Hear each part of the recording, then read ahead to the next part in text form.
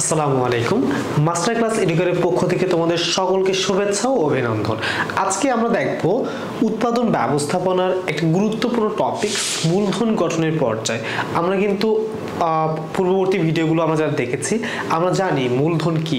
তো মূলধন, আমরা জানি যে মূলধন কি। এখন মূলধন কীভাবে গঠিত হয় বা এর একটা পর্যায় আছে, পর্যায়টা কীভাবে কাজ করে, আমরা সেই বিষয়টা নিয়ে আলোচনা করব। চলো, আলোচনা শুরু করা যায়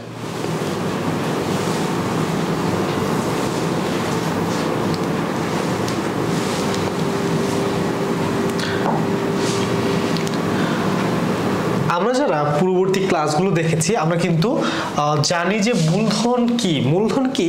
এই বিষয়টা কিন্তু আরেকবার তোমাদেরকে যদি বলি, মূলধন হচ্ছে অর্থের যে অংশটা পুনরায় আয় উৎপাদনে ব্যবহৃত হয়, সেটাকে আমরা কি বলছি? মূলধন।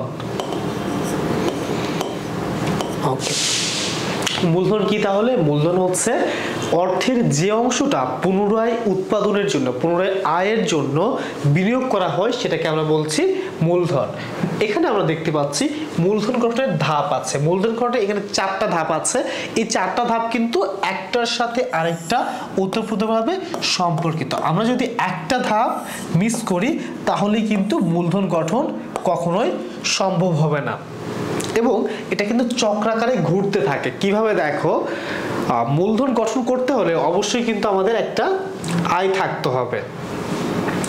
যদি আমাদের আয় না থাকে, তাহলে কি কখনো আমরা মূলধন গঠন করতে পারব? কখনোই না। ধরো, আমি বা আমার হচ্ছে প্রতি মাসে খরচ হয় দশ হাজার টাকা। আমি যদি স্যালারি পাই দশ হাজার টাকা, আমার, তাহলে আমার ব্যয় এবং আয় কিন্তু সমান থাকবে।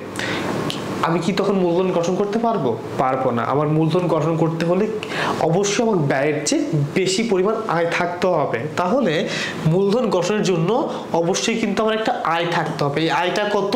ব্যয়ের চেয়ে অবশ্যই বেশি হতে হবে। যদি ব্যয়ের চেয়ে বেশি না হয়, তখন কিন্তু আমি মূলধন গঠনে প্রথম ধাপে ব্যর্থ হয়ে যাব।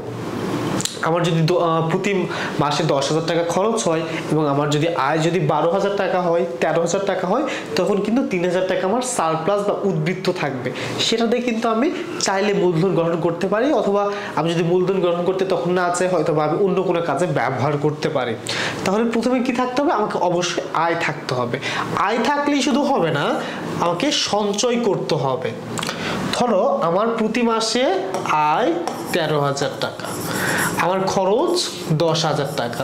আমি যদি তেরো হাজার থেকে দশ হাজার বাদ দিই, তিন হাজার টাকা।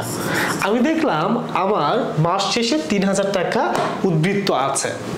আমি ভাবলাম যেহেতু তিন হাজার টাকা উদ্বৃত্ত আছে কোথাও থেকে ঘুরে আসি আমি, কোথাও ভ্রমণে যাই বা আমি কোনো ভালো রেস্টুরেন্টে যা, ভালো কিছু খাবার খাই, তাহলে কিন্তু আমি সঞ্চয় করছি না, আমি কি করছি? ভোগ করছি। বাট আমি যদি এমনটা ভাবি, এখানে তিন হাজার আছে, তিন হাজারের মধ্যে আমি দুই হাজার টাকা সঞ্চয় করব, অর্থাৎ জমা রাখব, বাকি এক হাজার টাকা আমি অন্য কাজে ব্যবহার করব। তাহলে আমার আয়ের কিন্তু একটা অংশ আমি সঞ্চয় করছি। এই যখন সঞ্চয় করছি, তখন কিন্তু আমি মূলধন গঠন একটা ধাপের মধ্যে চলে আসতেছি। বাট আমি যদি সঞ্চয় না করতাম, তখন কিন্তু আমি মূলধন গঠন করতে পারতাম না। তাহলে শুধুমাত্র আয় থাকলেই কিন্তু মূলধন গঠন সম্ভব না। আয়ের সাথে তোমার সঞ্চয়টাও করতে হবে। সঞ্চয় করার সামর্থ্যও থাকতে হবে, সঞ্চয় করার আগ্রহটাও থাকতে হবে। সঞ্চয় করলেই হবে না। ধরো হচ্ছে তোমাকে, তোমার কাছে দুই হাজার টাকা এখন সঞ্চয় আছে। এই দুই হাজার টাকা তুমি কোনো ব্যাংকে রাখতে চাও অথবা এই যে দুই হাজার টাকা আছে, এই দুই হাজার টাকা তুমি সঞ্চয় করতে চাও কিন্তু কেউ তোমার সঞ্চয়টা সংগ্রহ করছে না বা কোনো ব্যাংক তোমার এই সঞ্চয়টা গ্রহণ করছে না, তখন কি তুমি আর সঞ্চয় করতে উৎসাহ পাবা? পাবা না। তখন কি করবা? তুমি ভোগ করে ফেলবা। কিন্তু যদি কোনো ব্যাংক তোমাকে একটা নির্দিষ্ট পার্সেন্ট সুদের হার দিয়ে বলে, আপনি আমার ব্যাংকে আপনার এই দু হাজার টাকা রাখেন, আপনি বাৎসরিক দশ পার্সেন্ট সুদ পাবেন। সেক্ষেত্রে কিন্তু আমি একটা বেনিফিট পাচ্ছি। সু- অর্থনৈতিক একটা বেনিফিট পাচ্ছি। তখন আমি কি করব? আমি কিন্তু মূলধনটা বা আমার সঞ্চয়টা আমি কিন্তু কোনো ব্যক্তির হাতে পৌঁছে দেবো। এখানে সঞ্চয় গ্রহণ প্রক্রিয়া এটা মূলত ব্যাংক বা আর্থিক প্রতিষ্ঠান করে থাকে। ব্যাংক বা কোনো আর্থিক প্রতিষ্ঠান হতে পারে, যারা হচ্ছে মূলত সঞ্চয় সংগ্রহ করে। আর্থিক প্রতিষ্ঠান কি হতে পারে? বিভিন্ন যে এনজিও গুলো আছে। আমরা যারা গ্রাম পর্যায়ে আছি, আমরা জানি যে বিভিন্ন এনজিও সাপ্তাহিক বা মাসিক বিভিন্ন সঞ্চয় সংগ্রহ করে থাকে। যখন আমাকে একটা নির্দিষ্ট পরিমাণে ইন্টারেস্ট দিচ্ছে, তখন কিন্তু আমার সঞ্চয়ের একটা পজিটিভ উদ্দীপনা চলে আসে। এই সঞ্চয় যখন সংগ্রহ হচ্ছে, একটা নির্দিষ্ট পরে নির্দিষ্ট সময় পর কিন্তু আমার সঞ্চয়টা বড় হয়। তুমি যদি প্রতি সপ্তাহে অথবা প্রতি মাসে যদি এক হাজার টাকা করে রাখো, বারো মাসে তোমার কিন্তু এখানে বারো হাজার টাকা হবে। এখানে দেখছি আমার সঞ্চয় কয় টাকা করে রাখার? আর ইচ্ছা করেছি দুই হাজার টাকা করে। তাহলে যদি আমি বারো মাস রাখি, বারো গুণন দুই হাজার। তাহলে কিন্তু আমি চব্বিশ হাজার টাকা আছে আমার কাছে এখন। অর্থাৎ এক বছর শেষে আমার কাছে কত টাকা আছে? চব্বিশ হাজার টাকা আছে। আমি দুই হাজার টাকা দিয়ে তেমন কিছু হয়তো বা করতে পারতাম না, কিন্তু এখন যেহেতু আমার কাছে চব্বিশ হাজার টাকা আছে, এই চব্বিশ হাজার টাকা চাইলে আমি একটা ব্যবসা শুরু করতে পারি, অথবা আমি এটা কাউকে আবার লোনে দিতে লোনে দিতে পারি অথবা বিভিন্ন সরকারি বন্ডে বিনিয়োগ করতে করতে পারি অথবা শেয়ার বাজারে বিনিয়োগ করতে পারি। বিভিন্ন খাতে কিন্তু আমি এই টাকাটা ইনভেস্ট করতে পারি। যখন আমি এই টাকা ইনভেস্ট করব, সেখান থেকে কিন্তু আমার একটা প্রফিট আসবে। এই প্রফিটটাকে আমরা কি বলছি? আয়।